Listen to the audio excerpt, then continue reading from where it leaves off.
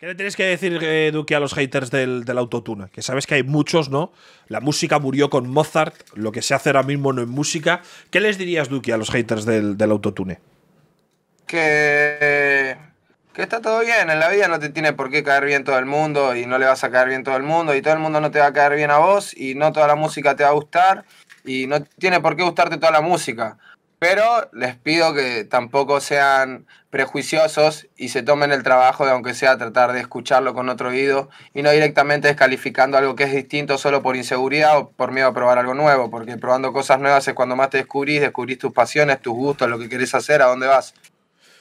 Y yo creo que también cuando más creces como persona. Esto a mí me pasa que hay mucha gente que no entiende lo que es el mundo del streaming o el mundo de lo que hacemos, pero realmente cuando más creces también como persona es cuando intentas comprender todo lo nuevo que está saliendo. El autotune al final no deja de ser un recurso más para los músicos, para los artistas de hoy en día, más que, bueno, esto tiene autotune, ya no me gusta. Bueno, pero tendrá usted que escucharlo, a lo mejor le gusta aunque tenga autotune, ¿no? Parece que ya como que no vale porque tiene autotune, porque como que te están ayudando externamente a que, a que suene bien, pero es que eso se ha hecho toda la vida. Para eso hay productores, para eso hay gente que se dedica a producir cosas, ¿no? Para que quede guapo, precisamente. Igual, igual, igual los invitaría a todos a que prueben usar el autotune y se den cuenta de que no es así. Yo te pongo a vos ahora con el autotune y sí, si cantás una melodía básica te lo va a acomodar, va a ser cafines, pero no quiere decir que lo que estés haciendo suene bien. Hay 20.000 años luz de diferencia.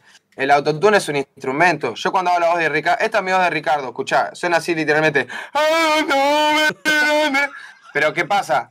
Yo, ¿cuánto, tiempo, ¿Cuánto tiempo tuve que estar yo en el estudio para darme cuenta que poniendo la voz así iba a pasar eso? ¿Entendés? Eso no era de estudio, porque si no estarían todos haciendo los mismos temas que yo. Si hubiesen pegado todos, si hubiese sido tan fácil usar autotune. Viene cualquier boludo y dice, hola, ¿cómo estás? Me llamo Carlos. No, pa, hay mucho más atrás de eso, ¿entendés? Hay todo algo por conocer. Es un mundo nuevo.